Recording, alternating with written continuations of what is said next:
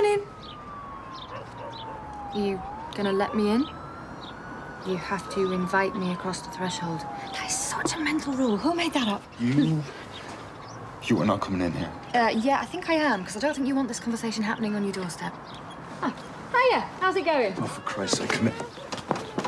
Ooh, this is nice. Whole open plan thing. Very simple. When will you leave me alone? Mitchell! Jesus! Can't breathe.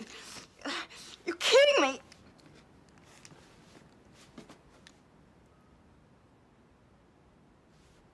Oh, no, wait. You already did that.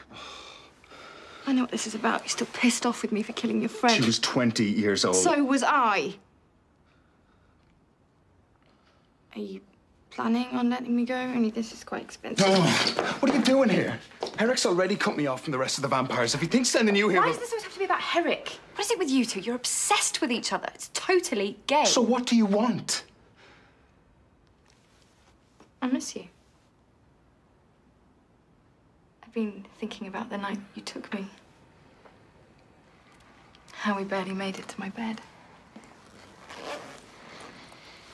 And how, at first, it hurt. And I was frightened.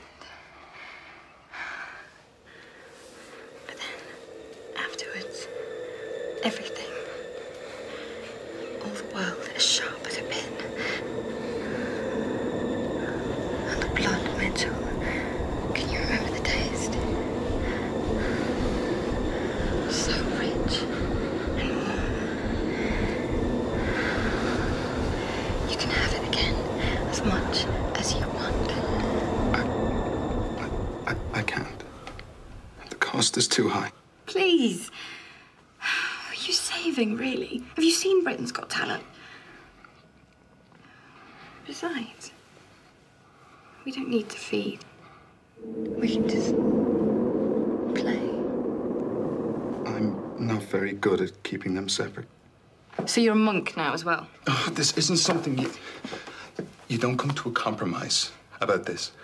I chose humanity. Yeah, I want to believe you. I really do. It's just when you look at me, you're hungry. Oh, get out.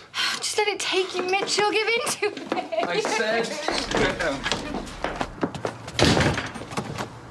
You don't get it, do you? It's like Hotel California. You can check out, but you can never leave.